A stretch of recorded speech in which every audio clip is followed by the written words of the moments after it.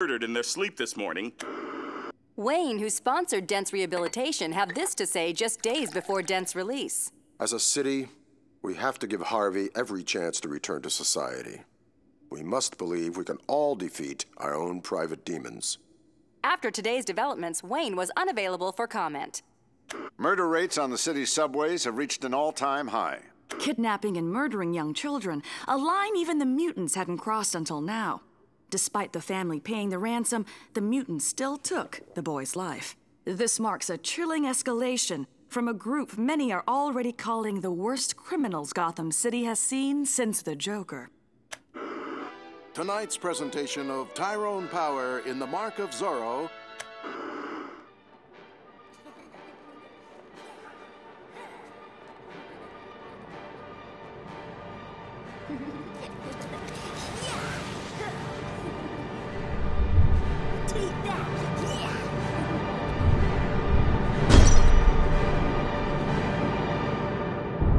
Can only assume Two-Face will return to his criminal ways.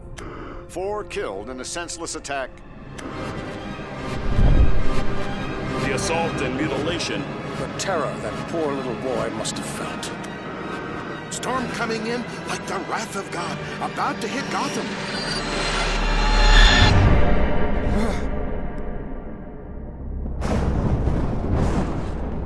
Try to hold me back, but you're weak.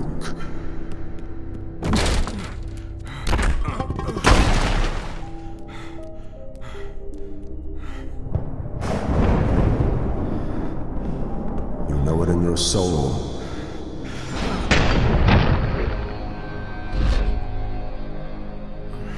You're nothing but a hollow shell.